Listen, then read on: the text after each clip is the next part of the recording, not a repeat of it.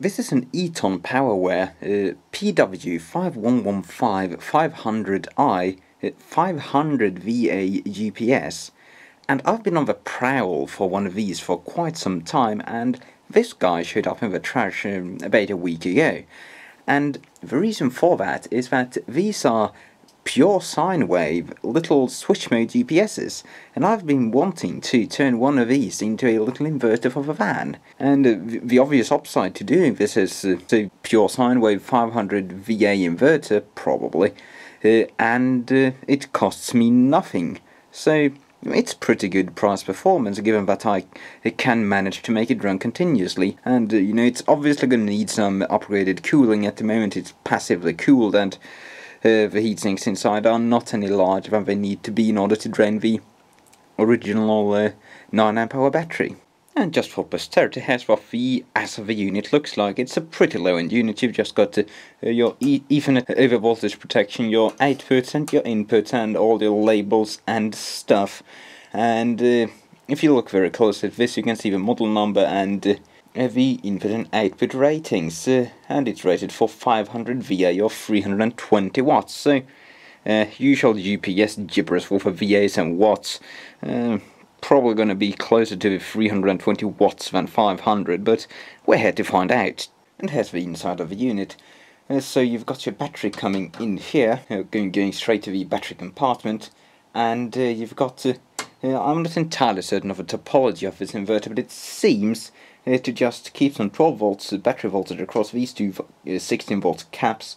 And then it uh, the lack of an output filter suggests to me that it's just uh, modulating everything on the 12 volt primary and filtering it through this coil and some little caps on the secondary there.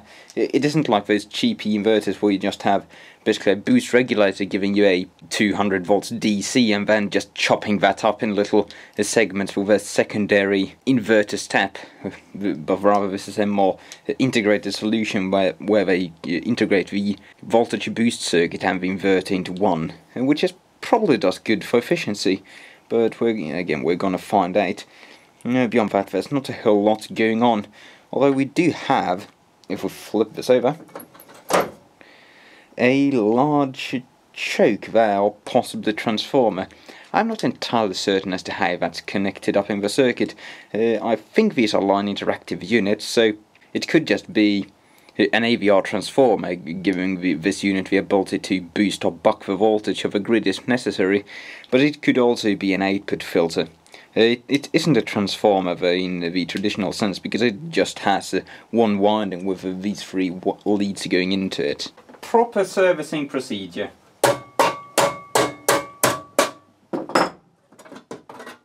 So that was removing the battery cage because originally these units come with a, a, this little metal connecting thing. Uh, this is the battery cover and this slides into place there and we've got two connecting tabs, basically like car fuses, uh, which connect the battery only after you've closed the battery hatch. That's because the battery charging these is uh, not isolated from the grid, so else you'd run a risk of getting a pretty nasty zap out of these uh, when you're changing the battery and the unit's plugged in. Uh, and uh, since I won't be using the battery charging this at all ever again, uh, I'm just going to bypass that by soldering this Anderson connector just on the secondary side of those plugs and eliminate a bit of resistance in the procedure.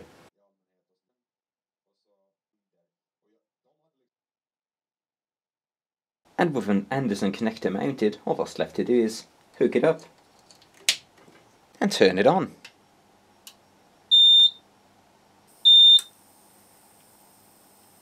Uh, that's an idle current of about 1.5 amps.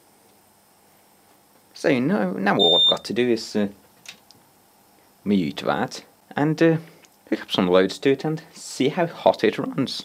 And as a testament to the fact that this actually is a pure sine wave inverter, uh, I've got this uh, power meter hooked up, and I happen to know that these use a capacitive dropper arrangement for the power supply, and if you connect one of these up to a square wave output, uh, they go instantly boom, because all the high frequency harmonics pass right through the capacitive dropper and basically overpower all the circuitry.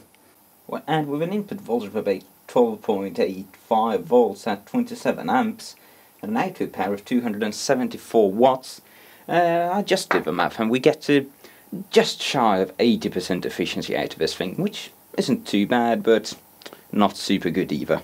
And if I feel these heatsinks, which have about 12 volts AC by the way, since they're on the primary side of the inverter, uh, these are getting uh, just to the brink of too hot to touch, so yeah, we're definitely gonna have to make some quite considerable cooling improvements in this thing. Something which is quite surprising though is that the capacitors, the bulk capacitance on the primary of the inverter seem to be generating a lot of heat on their own because uh, they are definitely the hottest parts in the entire area. There's nothing real around them to uh, transmit that heat into them. The PCB doesn't seem to be as hot as they are. So that's a bit worrisome. Perhaps their ESR is just a bit too high to work very well in this application. Yep, I just checked it and these are Jamicon WG series caps which uh, uh, have respectable specifications but uh, compared to something like this uh, Panasonic FM capacitor, uh, they have at three times higher internal resistance and can handle about two thirds of a ripple current. So I think I'm just going to swap those 8 for uh, a couple of these guys uh, since I'm at it because these are considerably better caps. Oh, well, hello there. It seems that perhaps we've got a cause for why they discarded this device. That is some definite leakage going on around those legs of that cap. We go, new cap's installed, uh, but I figure while I'm here soldering I'll just uh, add some extra current reinforcing to these traces because uh, this thing's going to draw about 50 amps when it's fully loaded and these traces are not up for the task even though they are tinned and they do have a lot of little uh, bridges going on the top side to beef them up but eh, some 2.5 square millimeter installation wire is going to do a lot better job.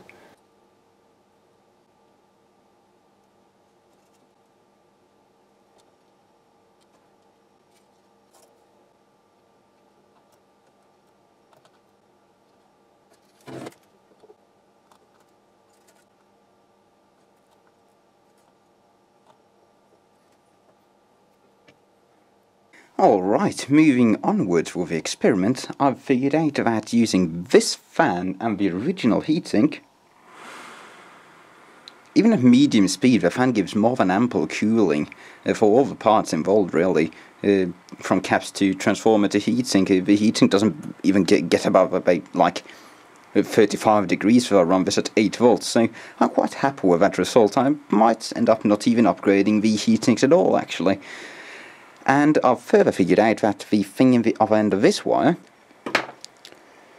is entirely unnecessary for any function other than the AVR functionality when the UPS is running on grid. So uh, I'm not going to need this at all because it will power on and run just fine off a battery even though it's just not connected at all. And that's very good news because uh, I've had a bit of a dig around in the car and the place I want to mount this is actually a bit uh, cramped and it's going to be a bit interesting seeing how well we can fit this PCB in there. Another quite important factor as to the viability of this thing is how much power will draw from the battery when it's connected up and doing nothing.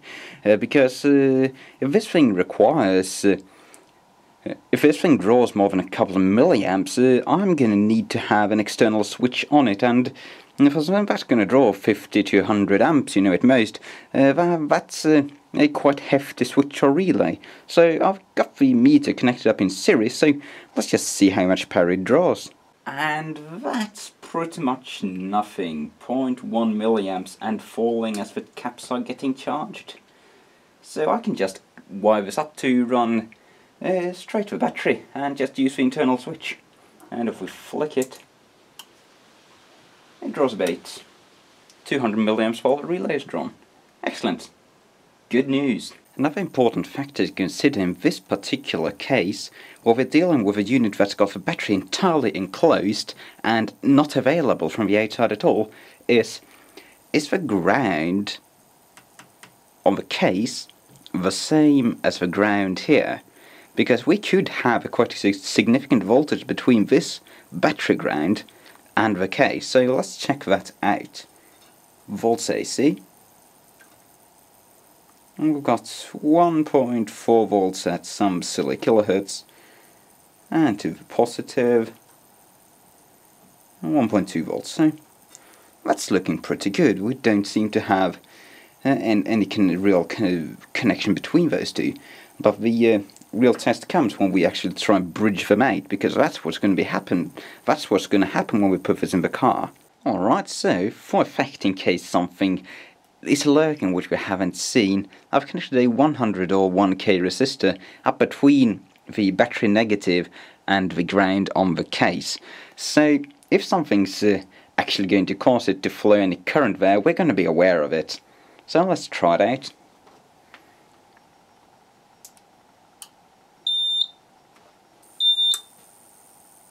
Oh, that's looking mighty peaceful. I actually made a critical error there because this wire, which has since been removed, was not connected to the battery negative because these guys weren't installed. So I figured that out after I'd soldered this little ground cable there between the primary and secondary of the inverter, figuring everything was okay. And uh, I must have been setting myself up for a mighty big bang in doing that. But thankfully, though, it's still okay. Whew. Alright, so as you could see there, I have now uh, freed the inverter PCB from the uh, case because we're not going to be needing that anymore, it just restricts airflow. Uh, so beyond that I've also, uh, as you also saw, uh, made the ground wire go from the uh, output side ground just straight onto the battery negative terminal. And that means that we get uh, chassis ground through this connector, which is going to run straight to the battery of a car, and we don't have to worry about any ground loops or uh, horrible stuff like that. We'll just have one single ground point. Beyond that, I've also added quite significant beefing up to the low voltage high current tracks here as you can see because they were running a bit hotter than I wanted them to and um, yeah these tracks were not suited for 35 50 amps continuously uh, but some 2.5 square millimeter installation wire should do the trick and uh, I think this thing might be almost ready to go. I've also gone through the top of advice and just mechanically secured a bunch of stuff so that it isn't uh, just wobbling around. Most notably, the entire output stage of the inverter. Uh, especially this capacitor was sitting in like one centimeter long legs and it was just flopping around. E even normal it would be moving around if you just move the unit. Uh, so I shortened the legs and stuffed some white goop underneath it and uh, I think we should be pretty sturdy by now. So, now all that remains to do is to thermally profile it and uh, construct some kind of pay supply for a fan. So, mounting. Originally, uh, we are inside the car now. Uh, I, I, was about to mount this inverter in uh, uh, this area. Now, I've removed the interior, but uh, sadly the PCB was ever so slightly larger than I expected, and there's more stuff around here than I expected. So, that's just a no-go. So, I've moved on to considering uh, the second option which is to mount it uh, in here underneath the spare tire which is normally resides here. Because uh, we have this rather large empty area. This is the level at which the spare tire ends. Uh, underneath a car on this uh, kind of uh, aerodynamic thing thingamajig. And I have a whole bunch of these uh, storage boxes which are pretty very good grade plastic uh, not, not very UV resistant but that's not going to be an issue down there. But these are very mechanically sturdy. So I figured I'd uh, uh, put a PCB in one of these since it fits just fine. Uh, construct a proper mounting for it of course. And uh, flip it upside down. And mount it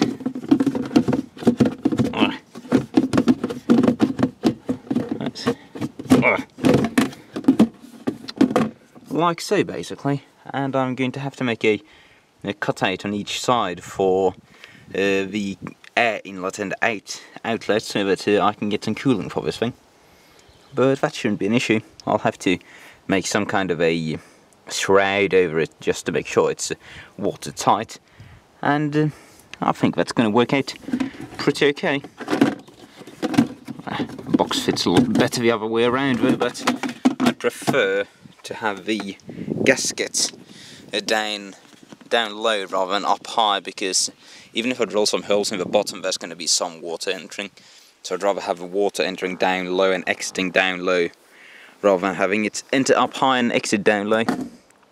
So that's what I'm going to do now. I'm going to make some kind of a plastic mount here and uh, put the board like so basically. And here's the mounting plate. Uh, it's just a, a, piece of TV heat uh, light spreader plastic which I've drilled a few holes in and uh, cut to size using a normal angle grinder. And the board will just mount like so. Uh, I had to drill another hole in the PCB actually because there was no mounting hole uh, up here. So you, it would have been unsupported all around here and that's not cool. So I drilled that. There's nothing there so it doesn't matter. And there's the mounting plate mounted to the lid of the uh, container. Uh, I just mounted it using uh, some of this uh, automotive asphalty stuff which is normally used for just soundproofing stuff really. I use it all the time. It makes a pretty okay low duty adhesive if you need to and yeah it was all I happened to have at hand. My silicone's dried up so it'll do. At least we get a cool zebra texture. Just like on the can. And I've now moved on to the thermal side of things as you might be able to hear. And this is what the a kind of waterproofed box now looks like. So, uh, what I've done now is, uh, most obviously I've cut up an old uh, water container, just a normal square water bottle, one of these guys, and uh, slapped it onto these sides. This is just a mock-up, but that'll give it a bit of resistance to water splashing from the sides, since I obviously need to have these big cutouts for the air moving through the unit. And you can see my thermo couple there, which is coupling straight to the hotter of the two heat sinks inside of the device. And on the other side, we have uh, a 92 millimeter uh, 600 milliamp fan uh, sucking air through this little air guide inside. You can see it right there through the uh, transparent shell of the case and uh, this it's proved to be very important to actually guide the air over the heat sinks because as you saw it's running at about 45 degrees with everything mounted and I'm not really certain how hot I can run this heatsink and still have reasonable margins for not blowing it up. Granted it is running under 100% load right now, so I suppose it's doing pretty okay. I've also drilled some holes and mounted some uh, waterproof uh, connectors on the end, or rather cable pass-throughs on the end of the box and this is uh, obviously the battery power and this is the 230 volt 8 and this is going to be where the control wire which is going to go into the cab of the, the vehicle is going to come out. And just to show off my ugly engineering there's the actual fan I just used an angle grinder with a grinding wheel to cut these slots. And then I cut out a few in the middle uh, with a Dremel in order to improve airflow because it was a bit too restrictive otherwise. I didn't want to remove too much plastic since uh, this plastic is kind of brittle when you're working with it too. And you can see it cracked there which was a bit of a whoopsie. Uh, beyond that the fan is mounted with uh, some pretty hefty rubber mounts to just spread the load of it. I, I don't want everything vibrating to pieces over time. And here's a quick look at the completed fan shroud which I'm actually very happy with how it turned out.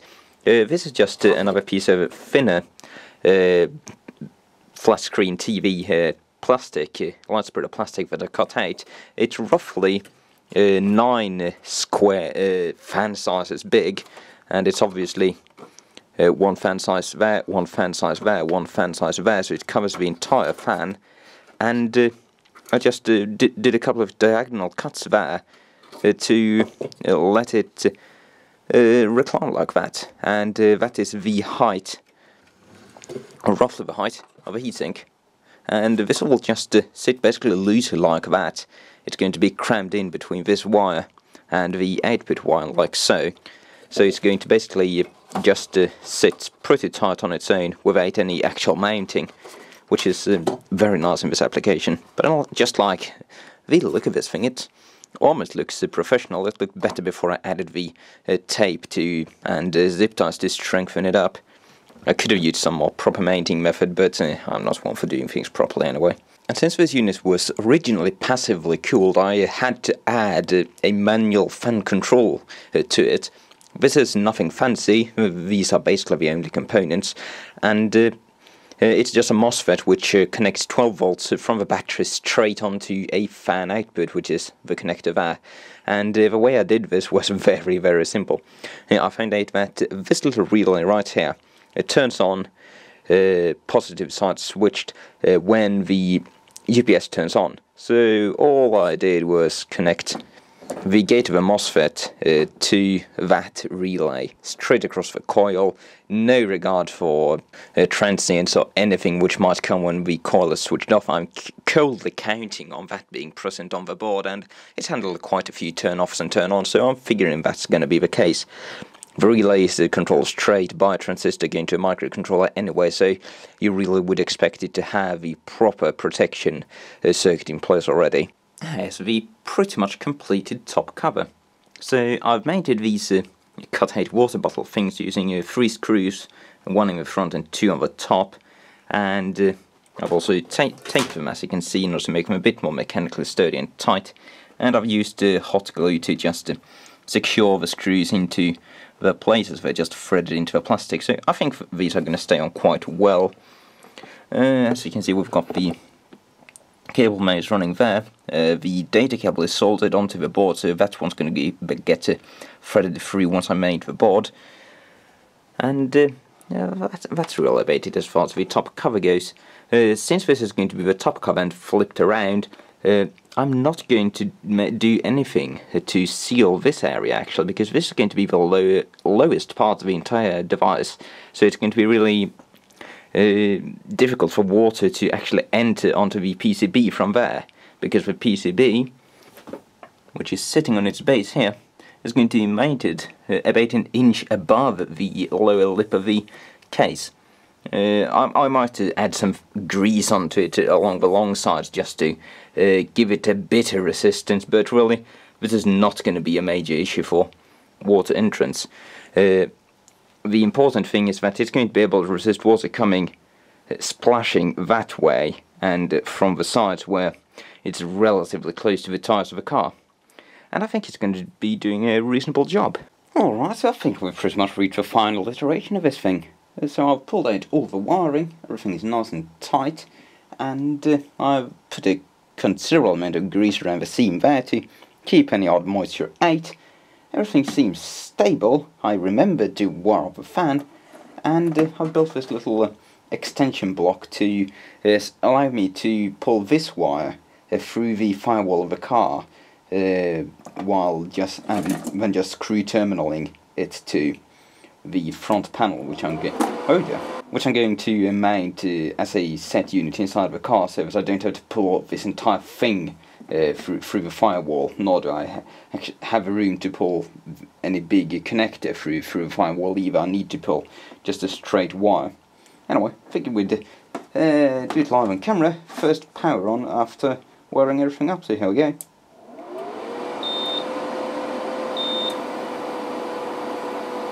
And that looks excellent. I did decide to keep the beeper activated since it does have a dedicated beeper off button uh, and since the inverter is technically outside the car, I think it'll be useful since the beeper is not going to be audible inside the car, I don't think. Uh, but uh, if you get out of the car and you've got the inverter turned on, you hear it beeping, and then you'll know, oh dear, I forgot the inverter on. Yep, so, that's about it. Now all I've got to do is figure out a way to measure in the car. And here is a test mount in the car. And uh, don't tell me that doesn't look great.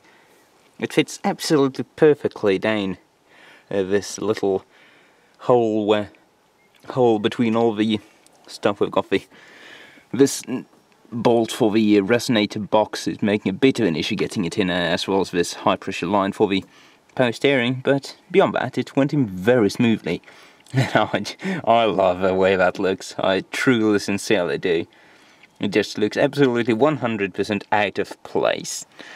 Uh, Anyway, as far as actually mounting it down to the car is going, uh, I think I'm gonna do it a bit dirtily. I'll probably just cut a couple of holes in this plastic uh, cover here and uh, just wrap uh, one or two straps around it to keep it in place because it doesn't need to be super sturdily mounted and this plastic piece is uh, quite secure in place. It's uh, attached to a bracket down back down there so it's not going anywhere unless I wanted to. As far as wiring is concerned uh, the positive and negatives are obviously just going to go straight to the battery over there. No switching, no external fuses, no nothing. Everything's internal. And uh, as far as wiring into the cab goes, uh, I've got a very convenient mounting uh, pass-through point. Let's see, should be right there. That's a grommet going straight into the car between the two seats. So that's going to pass through excellent. We can just have a quick look at how is it going to come out. Because that is the very same grommet. So I'll just make a couple of little holes in it. One for the control wire, one for the uh, power wire. And uh, I'll wiring through. Uh, I'll probably make the uh, power outlet on the plastic that goes there. That seems like a pretty okay spot. There's no space in between these two. The plastic cover which goes on this part and this plastic cover that's just about a centimetre of space there and uh, mounting it uh, atop the existing outlet would just uh, be a bit of a bother. I, I can't use the existing outlet either since that's wired to the cabin heater stuff so I'd have to have some kind of switching solution for that and that's more than I can be bothered to make. As far as the control panel is concerned, though, I'm not entirely certain as to where to put it. Now, I have considered uh, modifying these uh, blanking plates to accommodate it, but that's yeah, that's a bit of a bother, and rating wiring to the, this part of the dash is a pain in the arse, I know that from experience. So I'm thinking more about just uh, mounting the control panel hmm, perhaps in the bottom of this compartment, or just uh, screwing it by the outlet down there somewhere. It's going to be discreet enough, I don't really care about how it looks. Alright, it's absolutely dark outside, but I've got everything wired up now and ready for a test run. Already had these very wonky polarity swapping uh, terminals uh, on my battery since uh, I'm using a battery which got the wrong terminal orientation, so it was very handy to just hook the battery up to part of the adapter, hook the inverter up to part of the adapter. So everything should be good to go. It's nice and tight and the inverter's wired up down there, strapped down with a couple of stretchy ties and I haven't uh, tightened everything down, these wires are just uh, loose for, for the time being. But uh, we should be good for a first test. Uh, as far as mounting everything, I made a bit of a whoopsie and uh, I didn't have any uh, proper electrical outlets in stock so I just used one of these extension cord style ones for the time being. To replace it as soon as possible. And uh, as far as mounting the control panel it's a bit tight down there because the passenger's to move their feet around and stuff uh, and uh, mounting it on this part uh, is a bit of a bother because you need to remove the black part every time you need to access the engine. It just comes off in order to uh, open the hood which is what I'm sitting on right now. But I just put a magnet uh, on the inside of the black part so this is just mounted with magnet so it uh, comes off if I need to open the hood. I can just throw it aside. Now, obviously haven't finished up all the wiring yet but uh, it should just be a matter of connect pressing the button and this 40 watt light bulb should light so here goes nothing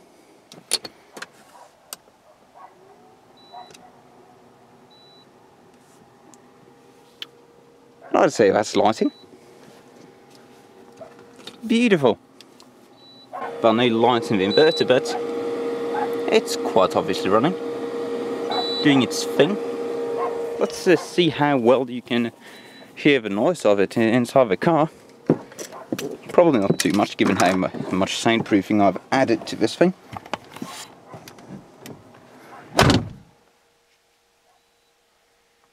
Yeah, there's a faint noise.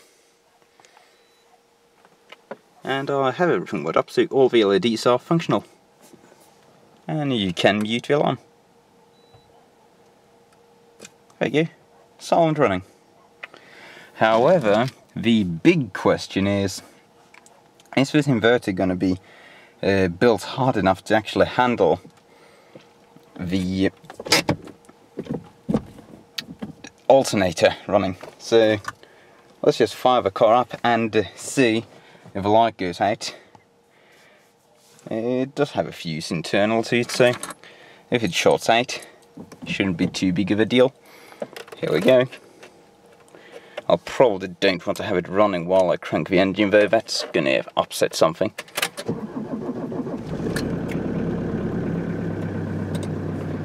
What?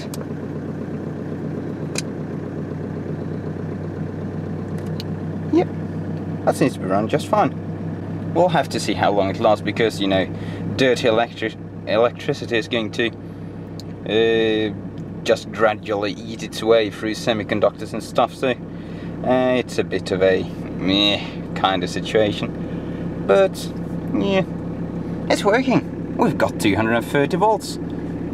Excellent. Alright, that has the pretty much completed setup for the time being. Uh, I rated this magnetically on here so it's sitting quite nicely in place. And uh, I mounted these panels back because I can install a power outlet here without taking any of this off. So yeah, I figured I'd just uh, put it all back and uh, fix this when I can get my ass to town to get a proper out power outlet.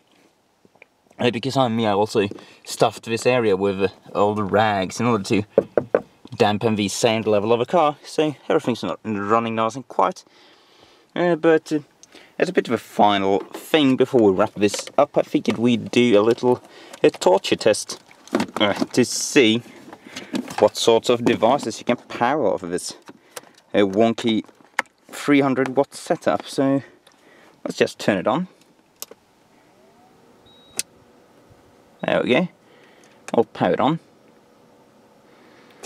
Beep it off. and we've got power 225 volts and I've got an extension cord running there and a few interesting things to try namely an angle grinder. Uh, it's got adjustable power so you can run this very slowly. Uh, an inductive fan uh, a 32 inch TV and uh, a 40 watt light bulb too. Just as a simple little indicator so let's let's give it a go. Let's just start out with a light bulb. And you get to enjoy my flabby nerdy build. That's lighting. Inductive fan.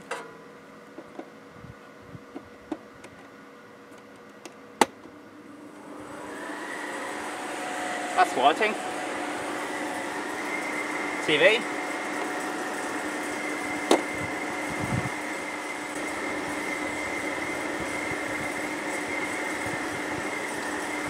we've got a picture there, I don't know if you can see it, but it's certainly lighting. So will it do the angle grind at the same time? I doubt it.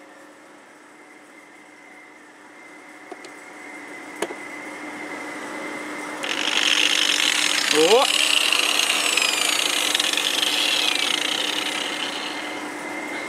So we're powering a 32 inch TV, an 80 watt inductive fan a 40 watt light bulb and a 150 watt angle grinder at the same time.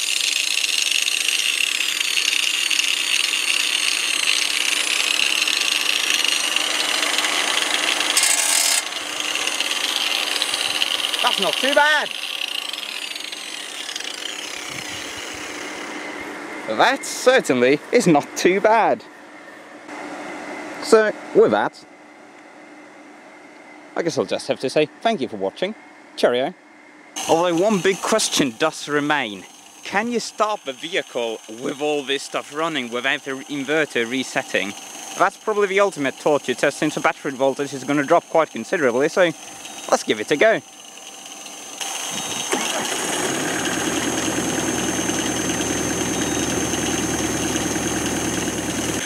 And I would give that a thumbs up. Cheerio.